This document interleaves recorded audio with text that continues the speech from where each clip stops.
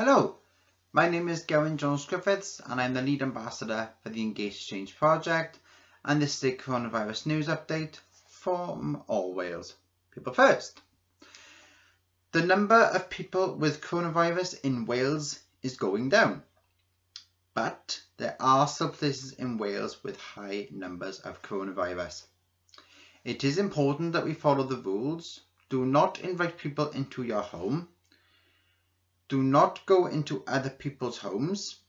You can meet with three other people outside, including in a garden, and you must stay two meters away from other people.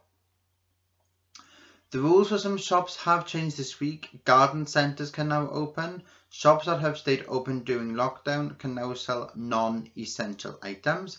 This means all aisles will be open in supermarkets.